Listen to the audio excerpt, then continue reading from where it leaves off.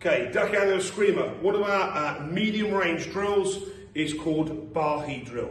Now, Bahi, it translates to B, obviously second letter of the alphabet, so it's angle two, and A, obviously, and so forth is angle one, uh, it's obviously there. So that's how it kind of works, and that's the determination why it's called, obviously, uh, Bahi. So, one person starts angle two, and he blocks this way, okay? Then he attacks angle one,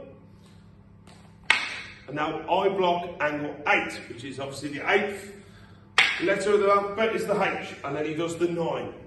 Okay, so from here, so it's 1, 2, 3, and there. Now the key thing for this is, because 8 is a waist shot, okay, he wants to drop his body when he blocks by keeping his stick upright. Okay, so he's not doing like a drop stick shot here, he's block, the, block, the block is here and then the nine thrust comes in. So there's angle two, angle one from your partner, angle eight from your partner, and then angle nine from your partner. And to avoid the nine, just move your head back from the shot. That's one, here we go, and there's the shot. So it's one, two, three, and round. So block. So you technically you are blocking, attacking, blocking, attacking, and that process just happens there. So remember, this is a medium range drill.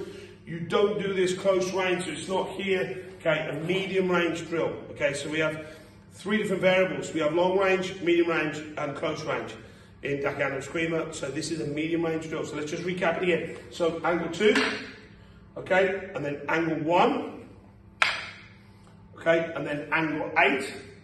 Remember the block on that eight, and then it comes round. So angle two, angle one, 8 and angle 9. Okay, so those are your four strikes. 2, 1, 8 and 9 and that's Bahi drill, medium range for Dacayana Escrima.